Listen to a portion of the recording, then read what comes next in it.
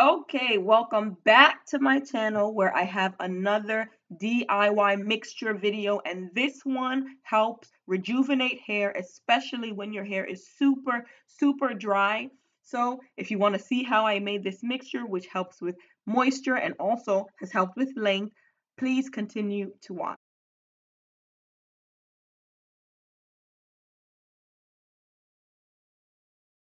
Okay, so let's jump straight into the ingredients. You see here what I have. This is what you'll need to make this. So we have green tea. Of course, green tea is amazing. It is antioxidant rich and vitamin C rich. Okay, it moisturizes hair, gets it super moisturized, and it smooths hair. But the reason that I love green tea for my mixtures is because of the bit of caffeine that it has in it. The little bit of caffeine that it has does help block DHT hormones, and that does help with less shedding and it helps decrease shedding. So next we have the thyme.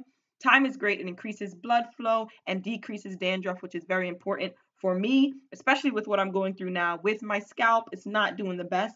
And then we have Brahmi. This is another Indian kind of spice and powder that is very commonly used in hair in India, from what I understand. And it's great. It thickens hair and is a national or natural rather conditioner. So I love it. So let's get into how we make this. We just want to have some water, have the water boiling. Um, it's great to have everything boiled together. At least that's the way I prefer to do it. So I start off with the boiling water, drop a tea bag in there, as you saw, drop in just, you know, some leaves of thyme, nothing crazy, and then a bit of brahmi. Keep that, cover it, and let it boil. Once it gets to a boil, you have it here. I like to transfer it into a bowl just so that I can sit it out and let it cool down. It's very important to let it cool before you add it to a plastic bottle, especially. Um, a lot of people like to use glass things, but my spray bottle is plastic. Hello, okay? It's plastic. I don't have the money for the glass bottle. So you definitely don't want it to be hot, or you might have some of the leakage from that plastic into your mixture, which is not what we want. Love this mixture. This is how it looks when it is all done. And now we're getting into how I use it on my hair. This is a mixture that I highly recommend for if your hair is super dry. Now, for me personally, I wear my protective styles anywhere from two to three weeks. So by the end of my protective style cycle, and when it is wash day, it is always more than likely pretty, pretty dry. And me can't deal with that. Me can't bother with that, okay? so that is why I incorporate a lot of these DIY mixtures and that I have been trying to incorporate them and they've been helping my hair grow. They've been really helping my hair grow. Let's be real, let's be honest, okay? So, this is just how my hair looks once it is freshly washed. That's how I prefer to do this. I prefer to put this mixture on freshly washed hair because you don't want to wash this out. You do not want to wash this out. I prefer not to wash this out. You can if you like. I know there's some people that just do not like any kind of products um, DIY food stuff in their hair long term. So if you're one of those people, if you're one of those persons, then you can definitely do this while you're deep conditioning and then go into the shower, wash, and detangle everything off, and then come out and do your regular routine. But for me, this is a mixture that I like to leave in. That's how I find it to work the best. So, of course, I want to get it on the hair. You want to get it on the hair shaft, but I especially love getting it on my scalp. I want to get it on my scalp because of the thyme. The thyme, as I said, increases blood flow, decreases dandruff by decreasing inflammation. It's something that's very important to me. It contains thymol, which is an antibacterial and an antifungal. So that to me is something that is very useful for the scalp. Brahmi as well. Thickens hair, natural conditioner, contains alkaloids, increases protein in hair follicles. Your hair is stronger, prevents hair fall.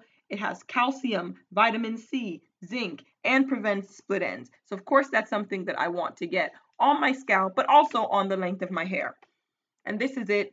You see my hair, I love the way that it helps my hair feel more moisturized. It just, you can automatically see that shine there, which I also like. Um, and that definitely is caused by the green tea, which does smooth your hair. So I just I just love it. So after I put all of that in my hair, I then continue on with the rest of my after wash day routine as normal. So I put in my products. You know me, I love my leave-in conditioner, my Giovanni's.